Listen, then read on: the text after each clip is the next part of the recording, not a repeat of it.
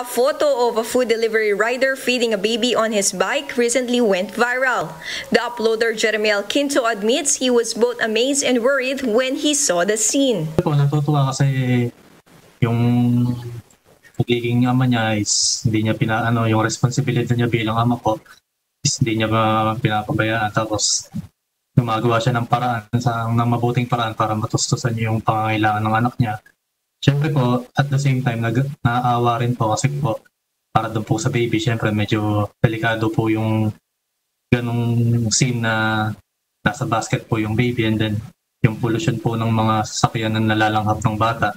Habang hinihintay niya po yung order is pinapadede niya muna yung anak niya. Ayun, kaya na-picture ako po, hindi ko po alam na magbabiral. An interview with News 5, the rider Hershey Manuel, who is only 18 years old, explained that it was the first time he brought his five-month-old baby with him while at work. Manuel said he had no other choice that day because no one was available to take care of the child. Ang asawa ko po kasi, nag, may tinda po kami ng ka- kaunting mga ano, kwek-kwek po, ganon. Mga fishball, mga kikiam. Ta- eh, kaysa naman po mabanlian ng mantika, sinama ko, sinama ko na lang po muna. Isang isang biyahe lang po yun, kumbaga kabilang kanto lang po. Tapos, sabi ko, sama ko na muna kasi hatid ko lang ito malapit lang po naman yung dideliveran ko. Eh mga tita ko po, tito ko po, may may trabaho po yung tito ko. Tapos yung tita ko po, marami rin po kasi nabili dito sa may tindahan. Kaya sabi, sabi ko, sama ko na lang po muna kaysa naman po naka sa may lapag po.